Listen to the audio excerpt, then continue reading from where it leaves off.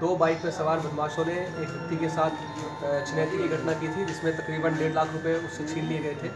ये एक गंभीर घटना पुलिस सुल्तानपुर ने दी और इस घटना के तत्काल खुलासे के लिए हमने अपने जनपद के पाँच टीमें इस पूरी इस पूरे गैंग पे हम लोगों ने लगाया।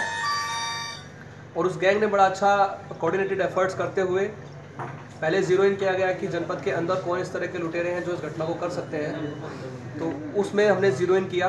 साथ ही पुलिस ने इन्वेस्टिगेशंस के सारे स्किल्स अपनाते हुए कि कहाँ से ये मुखबिरी डेवलप इसकी हो सकती है। कौन इसमें इनको इनपुट दे सकता है?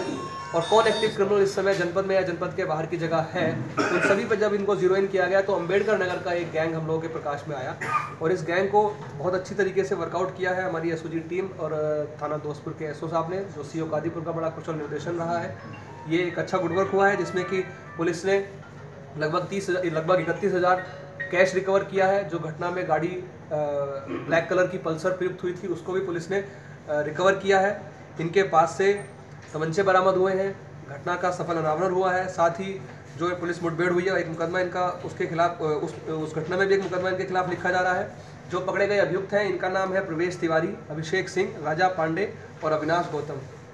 इसमें अभिषेक सिंह सुल्तानपुर का है, बाकी सभी तीनों जो अपराधी हैं ये अंबेडकर नगर के हैं। तो ये कहीं ना कहीं एक इंटर डिस्ट्रिक्ट गैंग ये वर्कआउट हुआ है, जिसका अच्छा इम्पैक्ट जाएगा आसपास के जनपदों में जो घटनाएँ करते थे, ये उस पर रोक लगेगी और एक अच्छा मैसेज लोगों में जाएगा और त्यौहार से पहले इस तरह के गैंग को वर्कआउट करने से त्यौहार भी सकुशल संपन्न निपटेंगे तो ये एक अच्छा गुड वर्क है और इस पूरी टीम को जिसने काम किया है, उसको मैं बीस हज़ार रुपये का इनाम घोषित करता हूँ उनके लिए।